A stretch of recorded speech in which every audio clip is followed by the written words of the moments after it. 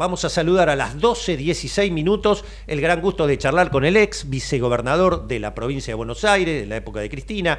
Eh, eh, creo que es ya candidato por soberanos, eh, el doctor Gabriel Mariotto. Gabriel, ¿cómo le va? Jorge Chamorro lo saluda, gracias por atendernos. ¿eh? Al revés, Jorge, buen día, muchas gracias por la comunicación. No, por favor, un gustazo. Eh, antes que nada, le quiero hacer una pregunta personal. Eh, ¿Cómo está la salud de eh, uno de los que los acompañan ustedes en Soberano, de Amado Vudú, por favor, si es tan amable? Bueno, está recuperándose, Amado, por suerte. Hubo un susto en un episodio de, de, carótida en, ah. en, un acto en Neuquén. Esos, esos episodios bravos. Sí que tienen que ver con, con las arterias y bueno, eh, es una alarma, por suerte no tuvo ninguna secuela y es un, una luz amarilla que se prende no solo con Amado, sino con todos los que no, no nos alimentamos bien o no hacemos el deporte que tenemos que hacer.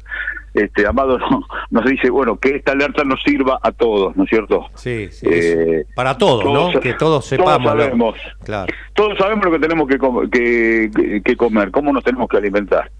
Cómo tenemos que descansar, cómo tenemos que hacer deporte, todos lo sabemos. No lo no lo llevamos a la práctica, salvo cuando nos agarran esos espasmos este y bueno, Amado ahora está predicando eso, ¿no? Que es eso, Amado eh, vamos a comer una vaquita, bauquita dulce de leche y se, se come tres bauquitas. Ah, y esas cosas, ¿no? esas cosas de, de, de, los desórdenes propios de, de los momentos de estrés y de, de bueno, de las cosas que ha pasado. Y, y sobre todo el, el episodio, fíjate, el episodio que tuvo Jorge fue en un momento en donde él estaba recibiendo mucho cariño de parte de, del el, público que había concurrido a su eh, exposición.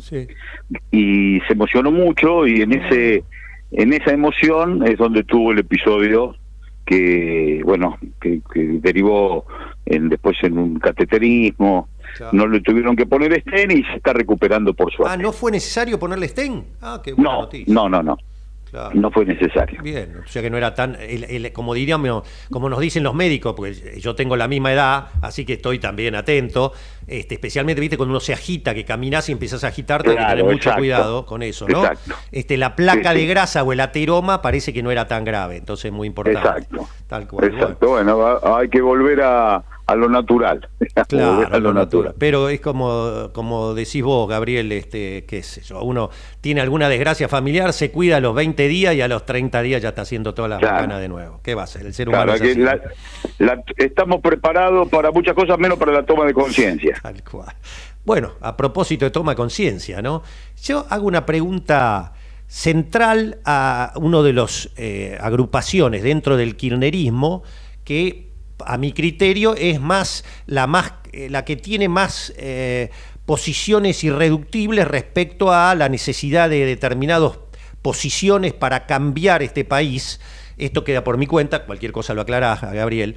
Este, así que yo la pregunta que tengo ahí en mente es, ¿cómo se conjuga la necesidad en el marco de la pelea por eh, el en el marco de un neoliberalismo que hoy maneja gran parte de las finanzas mundiales, cómo se conjuga la necesidad de ampliar votos como sea por toda la andanada de, golpes que recibe lo, nacional y popular, para ampliar como sea votos y a la vez después, cuando sos gobierno, te encontrás, como le pasa a Lula, con el Banco Central, por ejemplo, ahora, te encontrás con que esas alianzas te limitan después para avanzar. ¿Cómo se conjuga eso?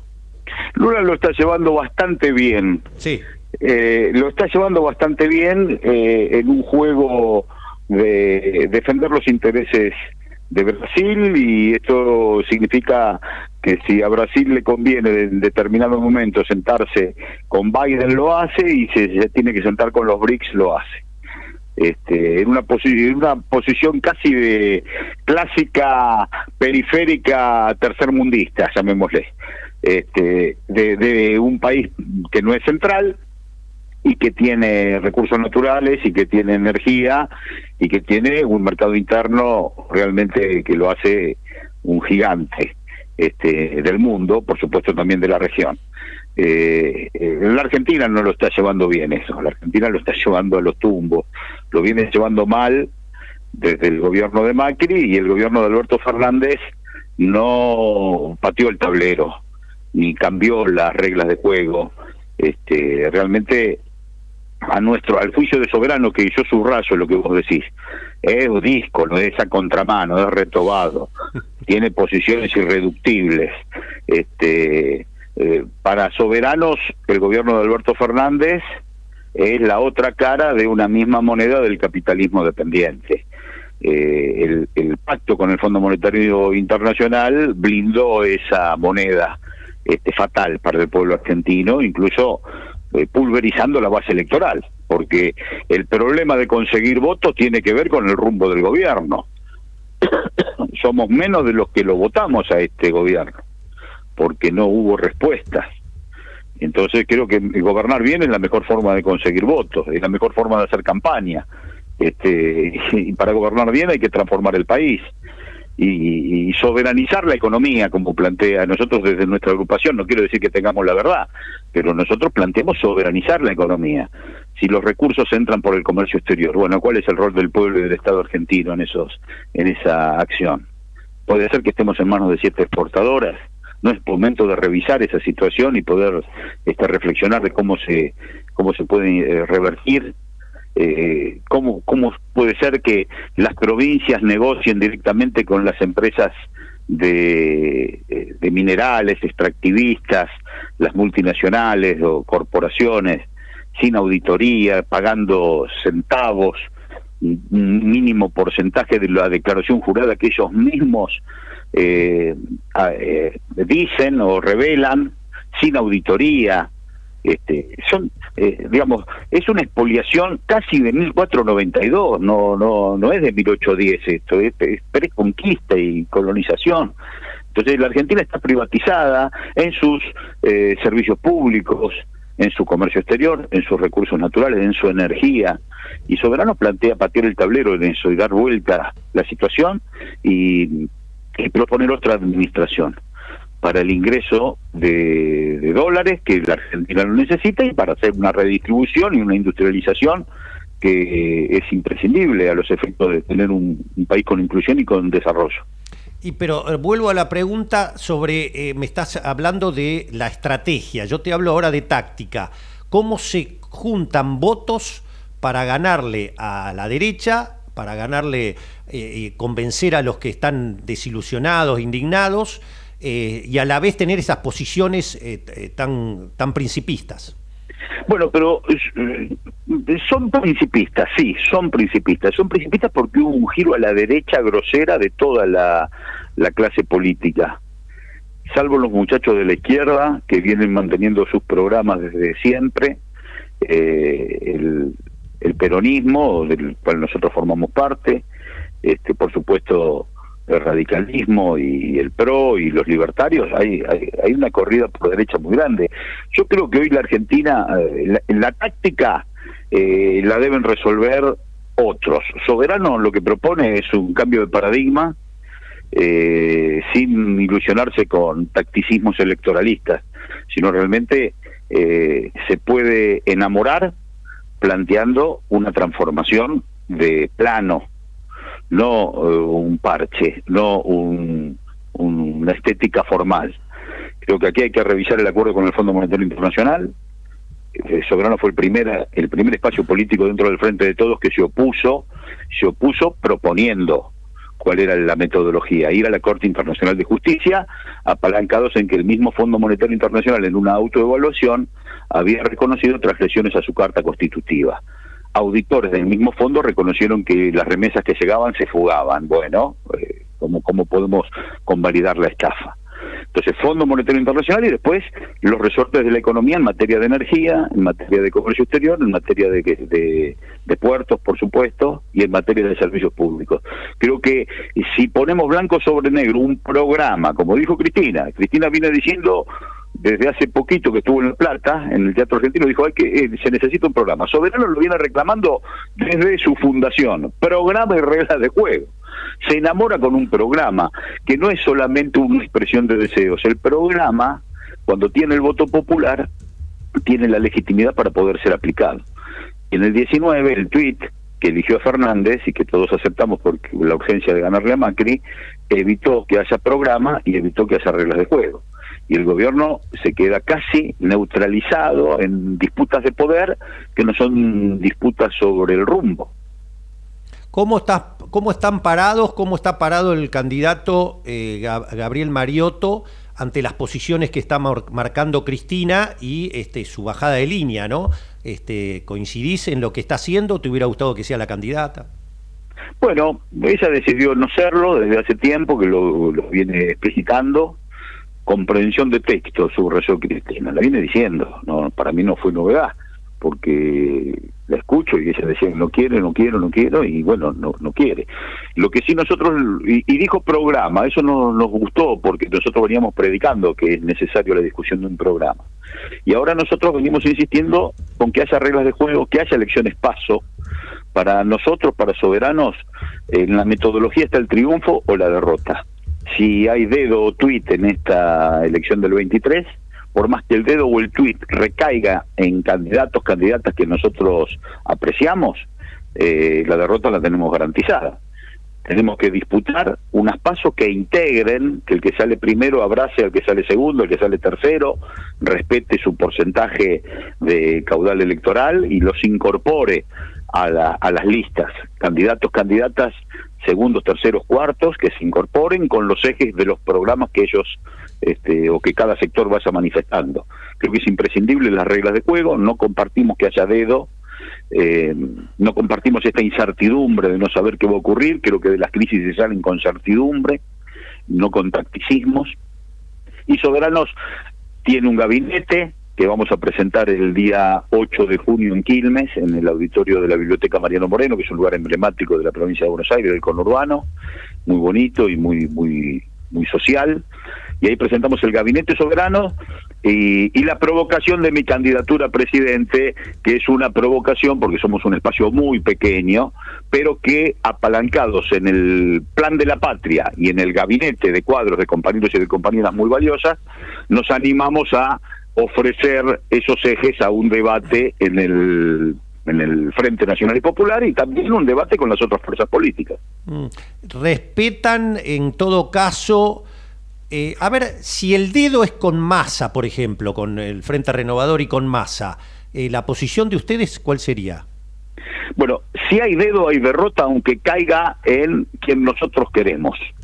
O sea, ah, eh, esa metodología está perimida, porque si fuera Massa nosotros no lo votamos, y si fuera Alicia Castro no lo va a votar Massa. Entonces nosotros necesitamos disputar unas pasos con programas que van a tener unidad de concepción, pero los matices propios de un movimiento tan amplio como el peronismo, como el movimiento nacional y popular, y, e integrarnos.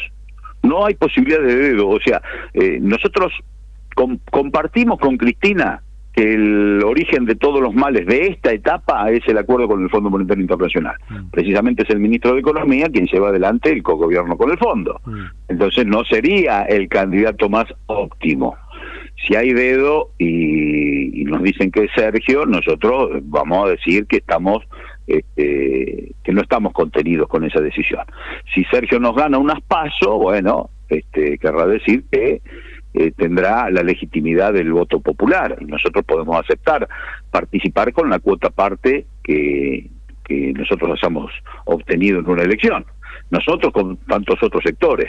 Pero creo que eh, no es eh, dedo masa lo que a nosotros nos eh, expulsaría, sino que el dedo como metodología nos expulsaría por más que recaiga en nosotros mismos porque sería este, optar por la derrota. Y creo que hay que ganar. Y se gana enamorando con un programa y con una discusión seria y con unos pasos de integración, no como esas pasos que están en la memoria que fueron fratricidas entre Aníbal y, mm, y Julián, Aníbal Fernández y Julián Domínguez, porque ahí no hubo reglas de juego, sino que el que gana se lleva casi todo y el que sale segundo se reduce a los cuartos lugares, un 25%.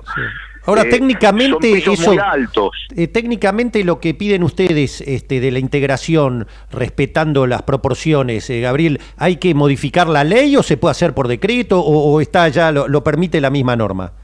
No, la ley es la misma La ley es la misma, la ley no hay que modificarla. La carta orgánica del nuevo frente, los frentes son tienen fecha de vencimiento. Cuando termina la elección, termina el frente. Para la elección del 23 hay, que conformar un frente. Esto parece burocracia, pero no es burocracia. El 14 de junio se cierran los frentes, los partidos políticos, el PJ, Compromiso Federal, el, Partido de la Victoria, el Partido Comunista, el Partido Humanista, no sé, los, los partidos, el Partido Unidad Popular, los partidos Miles, qué sé yo, todos los partidos, el Proyecto Sur, el Partido eh, Patria Grande de Grabois, todos los partidos, conforman el Frente de Todos X o el Frente X frente de todos, llamémosle. Eh, y ahí establece que las pasos se van a dirimir con un piso muy bajo. El que saca tres puntos se integra con sus tres puntos ah, este, a, la elección general. Entonces, la integración no nos atomiza. Y, podemos eh, representar en la lista que va a competir contra Cambiemos y con los libertarios con los matices del frente. Correcto, correcto. Claro, con sistema DON. El sistema DON. El viejo sistema, DON. Eso lo establece la carta orgánica del mm, frente que conformás. Se puede hacer. Lo que no veo es que haya voluntad política, porque incluso ahí, decían en los medios, nosotros no tenemos información de primera plana, pero los medios decían que Máximo estaba proponiendo subir los pisos a 40. Y nosotros decíamos, bajemos los pisos a 3, porque todos nos necesitamos, hasta el hilo más delgado hace su sombra en el suelo. Mm. Eh, hagamos un debate de integración, este, pues ya nos pasó, en el 15 perdimos por un punto y medio contra Macri y contra Vidal ahí, en, esas proporciones. Entonces, necesitamos que las PASO sean un fortalecimiento del espacio y no una atomización.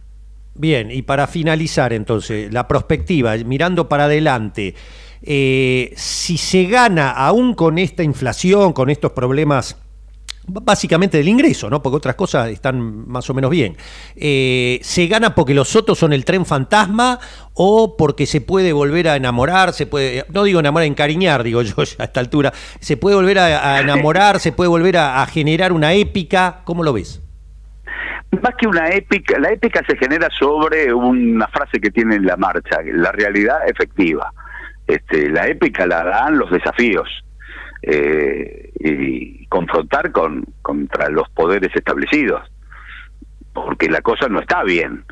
Si esto es el gobierno de los poderes establecidos, bueno, cambiémoslo porque es una Argentina para muy poquito. La Argentina necesita eh, una transformación y el poder eh, es una, una búsqueda de, ese espacio de poder, pero con, con un para qué no tener el poder por el poder mismo, hay que tener un para qué, bueno, hay que resolver algunas situaciones estructurales que tiene la patria, como un cambio de constitución, por ejemplo. Ah, por ejemplo. de integración. Entonces, pero son cambios estructurales. Creo que si hay eh, desafíos, el pueblo va a acompañar y con, convertiríamos el gobierno de Alberto Fernández en un gobierno de transición este gobierno que no ha enamorado con sus políticas, porque nadie va a votar por políticas que se hayan llevado a cabo en estos cuatro años, más, más, más menos, pero no hay nada que haya sido una cosa que genere expectativa, sino los resultados electorales serían otros. Entonces hay que enamorar con un proyecto de transformación. Sobrano propone eh, el plan de la patria para tomar el toro por las astas y hacer cambios estructurales. Y eso nos puede dar este, la mística que, que reclama todo toda empresa política empresa digo colectiva no una empresa de, vocación de caminar hacia un futuro de, de desarrollo de inclusión de justicia social. Clarísimo muy bien, eh, Gabriel, estaremos atentos. Entonces, el 8 eh, de junio en Quilmes presentan el gabinete la confirmación de la candidatura a presidente de Gabriel Mariotto, eh, este, así que estaremos atentos este, de todas estas propuestas. Por supuesto, por supuesto, porque te voy a mandar todas las, por favor. todos los flyers y demás para que tengas a los oyentes, las oyentes este, informados y los esperamos en Quilmes. Ahí va a estar Alicia Castro, va a estar Amado, va a estar Fernanda Vallejo, Alejandro Olmos, Horacio Robelli. Este, ah, Horacio está con ustedes también. Horacio Robelli está con ustedes. Ah. Horacio Soberano desde el primer día, este corazón puro, puro soberano, ¿no? Con una gran formación. Todos los temas medioambientales con eh, Damián Marino y Juan Pablo Olson, Argumedo, el hijo de Alcira, ah. este, posiciones muy, muy nobles, muy fuertes. Pepe Batela en los temas de, de, financieros, de AFIP, claro. Este, así que me estoy olvidando de muchísimo. De, eh, Rusconi, el doctor Rusconi. Ah, Maximiliano Rusconi. Maximiliano ah, Rusconi. por eso nos animamos, damos este pasito, la candidatura es una provocación, insisto, precisamente porque tenemos un plan de la patria y un gabinete que este, va a sostener los ejes de lo que Soberano quiere un rumbo para la patria. Gabriel, un abrazo, muchas gracias por atendernos y seguimos en contacto. ¿eh? Gracias, Jorge, un gran abrazo. Igualmente. ¿eh? Eh, muy bien, el ex vicegobernador de la provincia de Buenos Aires, precandidato presidencial por el Frente de Todos, el doctor Gabriel Mariotto, líder de Soberanos, que dijo, para Soberanos hay que patear el tablero. Se enamora con un programa y dijo, si hay dedo, hay indefectiblemente derrota. Definiciones importantes de este sector que un poco, como dijo, son testimonial en cuanto a empujar desde lo que ellos consideran el principismo de muchas cosas.